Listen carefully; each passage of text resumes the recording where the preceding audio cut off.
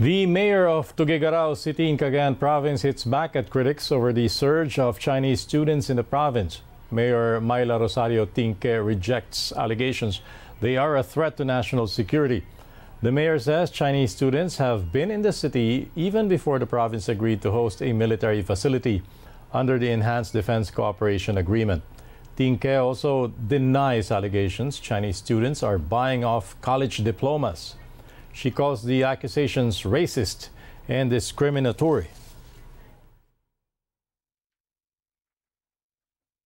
The Philippine government belies China's claims there exists an internal understanding with Manila on how to handle tensions in the West Philippine Sea.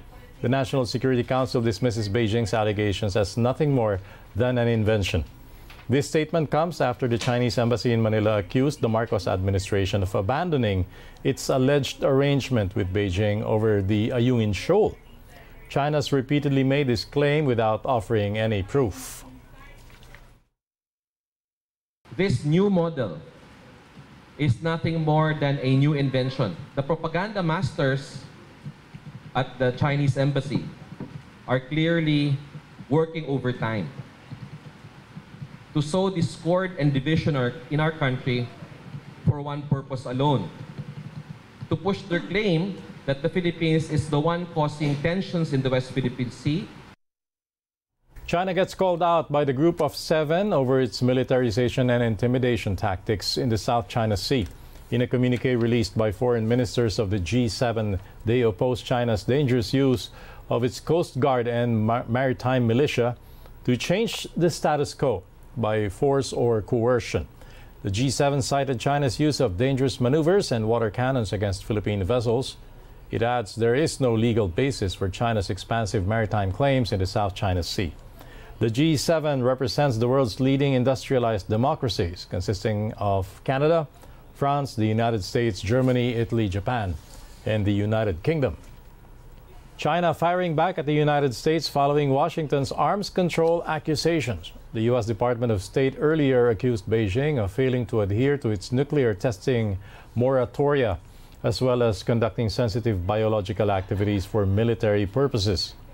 Chinese Foreign Ministry spokesperson Lin Jian called the accusations baseless, adding the U.S. should take a look at its own arms control record. He also asserts China is committed to upholding the international law, unlike the U.S., which he accused of stoking major country confrontations. The report ignores facts and is full of preconceptions. The report smears other countries with baseless accusations on their compliance. China firmly opposes it. We urge the U.S. to stop pointing fingers at other countries, take a hard look at its track record in arms control, disarmament, and non proliferation, and earnestly respond to the legitimate concerns of the international community on the U.S. compliance. The Philippines and Japan expected to sign a reciprocal access agreement before the year ends. This was announced by the National Security Council. The Defense Pact, which is similar to Manila's Visiting Forces Agreement with the U.S., allows both nations to deploy troops to each other's countries and hold joint maritime drills. Tokyo and Manila started negotiations for the agreement in November 2023. The NSC adds several other countries are also expressing interest in having a similar agreement with the Philippines, but they weren't named. It's moving at a quick pace. No, it's moving at a quick pace. There has been several visits by uh, Japan negotiators to the Philippines. Philippine negotiators have been um, in Japan as well. In Washington, during the trilateral um, uh, summit, this was also discussed between uh, the Philippines and Japan. During um, uh, exchanges between the Philippines and Japan, uh, after the trilateral meeting, this was also discussed, and the Prime Minister of Japan and the President of the Philippines has has uh, given the instructions to our negotiators to proceed immediately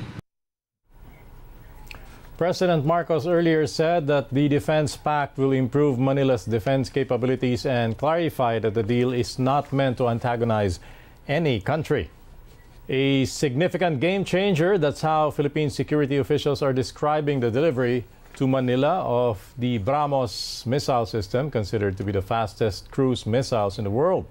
National Security Council Assistant Director General Jonathan Malaya says it will buttress the country's coastal defense and improve maritime domain awareness. The missile system is part of the $375 million deal signed by the Philippines and India in 2022. Complementing this maritime increased maritime domain awareness is the capacity to deter and defend.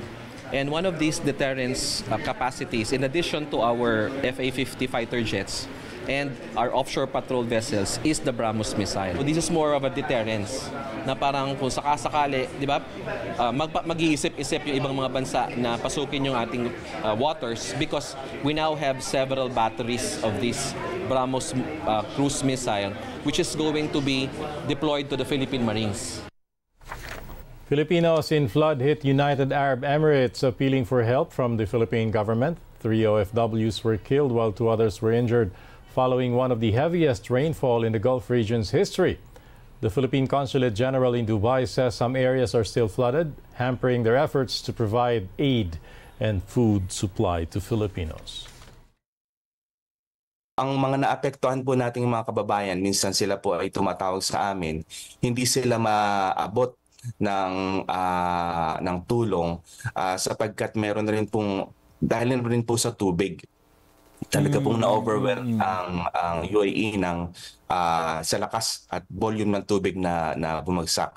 Pero we are in touch with them. Yung iba po nagsasabi, we have 3 days supply na lang ng pagkain, 2 days supply.